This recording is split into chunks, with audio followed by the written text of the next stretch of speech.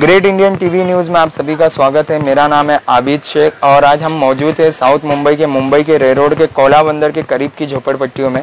जैसा कि आप सभी को पता है कि ये महामारी के चलते हुए लॉकडाउन हो चुका है। लॉकडाउन के चलते हुए जितने भी काम धंधा करने वाले लोग हैं और जो रोज़नदारी पे जा जो काम करने वाले लोग हैं उनकी ज़िंदगी में सब में ज़्यादा इस लॉकडाउन का असर पड़ा है और उनके सारे कारोबार ठप हो चुके हैं।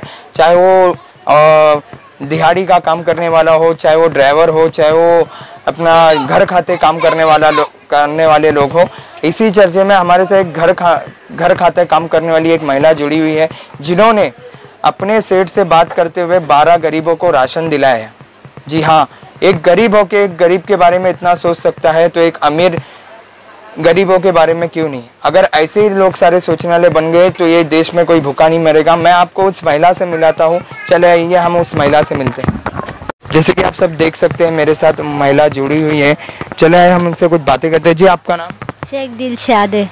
जी दिलशाद आपा या आपने जो काम किया है जो गरीबों को जो आप एक खुद घर काम करने वाली एक औरत हो और आपने इस काम को किस तरह से किया? जरा बताइए लोग मुझे ऐसा लगा कि हर इंसान सब लोग परेशान है तो हमें कोई रास्ता दिखा नहीं तो मुझे मेरा सेठ लोग को याद आया कि शायद मैं उनको बोल के देखूँ, वो हमारा मदद करे। ये इतना, जिनको थोड़ा बहुत अगर राशन मिल जाए तो ये गनीमत है, रमज़ान का महीना है, सबको ज़रूरत है। ये सोच के हम लोग उसके पास गए भी। उन्होंने हमको बुलाया भी। हम अपना सेठ का शुक्रगुजार हो कि उन्होंने मेरे बात सुने, जैसा हम काम वाले लोग को मुझे तो ऐसा लगा कि सुनेंगे नहीं, मगर सुने, उन्होंने बुलाया भी। हम लोग को राशन मिला भी बारह जन को, और हम बाकायदा बारह आदमी को बांटे भी है, उनके ऐसे से हमने दिए। जब हम गरीब हो के हम गरीबों के बारे में इतना सोच सकते हैं तो मुझे लगता है कि बड़े आदमी क्यों नहीं सोच सकता? अगर बड़ा आदमी इस तरह किसी गरीब का मदद करे तो मुझे नहीं लगता कि कोई झोपड़पट्टी में इंसान कोई भूखा सोएगा।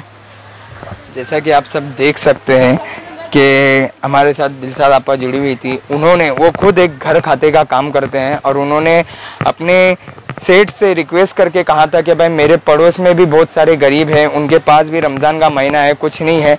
तो इन्होंने अपने सेठ से बात करके और सेठ के पास जाके, सेठ ने उनके जो सेठ है, उन्होंने इनको बारह लोगों का राशन दिया और इन्होंने वो बारह लोगों को बांटा भी। जी हाँ जैसा कि आप सब देख सकते हैं, क्या एक गरीब इंसान एक गरीब की मदद कर सकता है तो एक अमीर क्यों नहीं?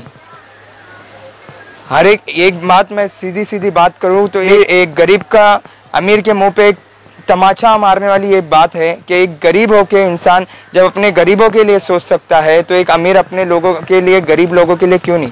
अगर इस देश में ऐसा अपने भारत के देश में सारे लोग ऐसे बन जाए कि गरीबों की मदद करने वाले बन जाए तो ऐसे महामारी के टाइम भी कोई भूखा नहीं मरेगा। जी ग्रेट इंडिया टीवी न्यूज़ में आप सभी का धन्यवाद। कैमरामैन फैयाज के साथ मैं अभिषेक, धन्यवाद।